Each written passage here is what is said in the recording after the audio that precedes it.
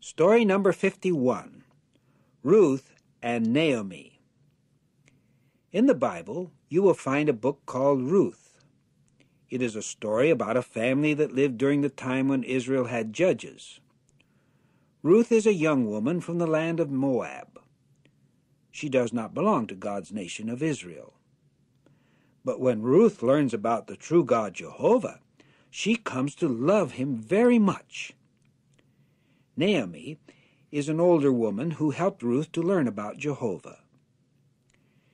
Naomi is an Israelite woman. She and her husband and two sons moved to the land of Moab at a time when there was little food to eat in Israel. Then one day Naomi's husband died. Later, Naomi's sons married two Moabite girls named Ruth and Orpah.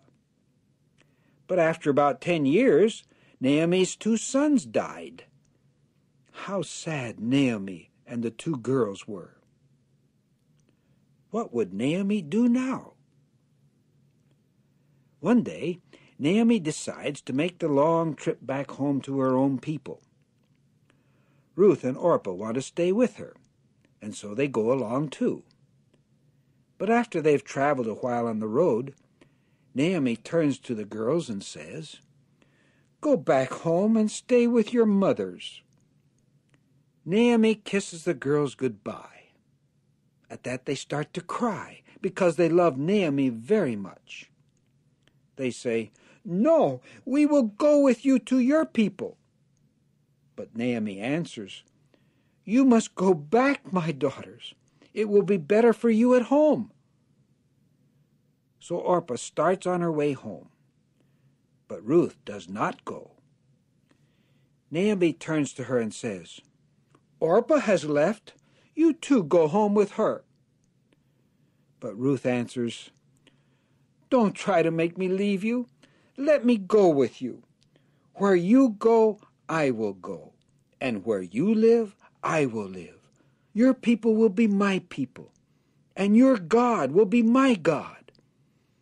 Where you die, I will die, and that is where I will be buried. When Ruth says this, Naomi doesn't try any more to make her go home. Finally, the two women get to Israel. Here they settle down to live. Ruth right away begins working in the fields because it is the time for gathering the barley. A man named Boaz lets her gather barley in his fields. Do you know who the mother of Boaz was? She was Rahab of the city of Jericho. One day, Boaz tells Ruth, I've heard all about you and how kind you have been to Naomi. I know how you left your father and mother and your own country, and how you came to live among a people you had never known before. May Jehovah be good to you. Ruth answers, You are very kind to me, sir. You have made me feel better by the nice way that you have spoken to me. Boaz likes Ruth very much, and it is not very long before they get married. How happy this makes Naomi! But Naomi is even happier when Ruth and Boaz have their first son named Obed. Later, Obed becomes the grandfather of David, about whom we will learn a lot later on.